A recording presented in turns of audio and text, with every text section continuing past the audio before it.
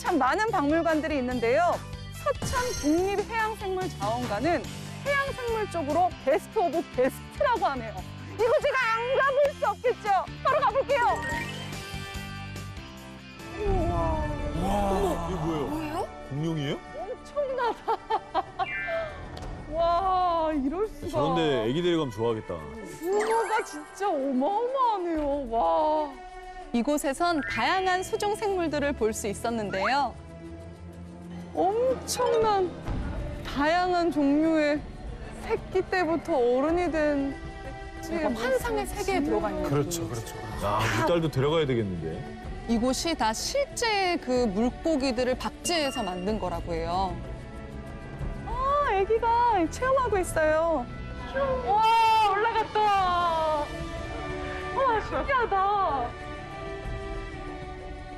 아이들이 진짜 좋아할 것 같아요. 예, 재밌어요. 이 정도 스케일의 박물관이 있을 줄 상상도 못 했는데 사실 서울에도 없는 건데. 맞아요. 예, 너무 좋은 것 같아요.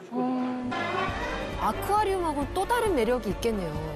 그 아이들도 좋아하지만 어른들도 엄청 좋아하잖아요.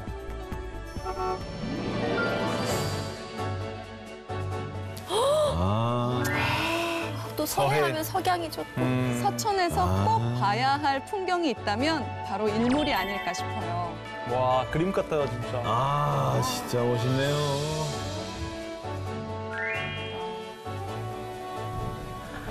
제가 이 서천을 소개해드린 이유 중에 하나가 바로 이 서천에서의 일몰 때문인데요. 실제로 보니까 진짜 감동이네요.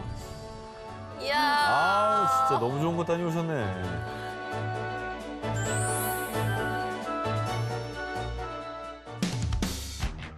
싱싱한 바다 냄새, 따뜻한 사람 냄새가 섞인 이곳.